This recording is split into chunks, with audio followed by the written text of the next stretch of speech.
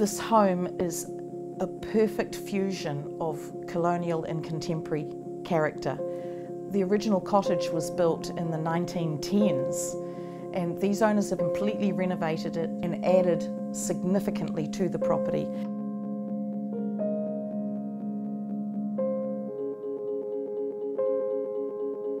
The board and batten exterior, of course, is, is that colonial look, and they've tied that in and they've made the whole property look really modern by painting it black. It's 800 metres from the CBD, and if you're on foot, depending on who's walking, it's approximately 15 minutes walk to the coastal walkway straight down the hill. The cottage has trusses running across, and even though they're at sort of normal height, there's no ceiling as such, so you've got that pitched roof and you've got that feeling of space.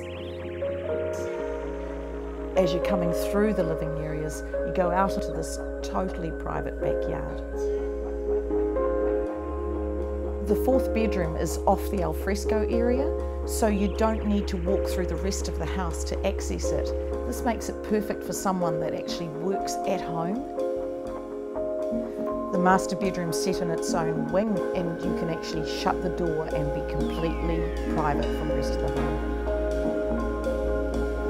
Between the master bedroom and that fourth bedroom you have decking going right across and then steps leading down to the pool area and you've still got a section behind it for children to play and there's trees everywhere. Obviously the indoor-outdoor flow is great but really my favourite part is probably that alfresco area because if you had a um, patio heaters in there, you could be out there well into the winter. And how wonderful to be bringing the outdoors indoors almost all year.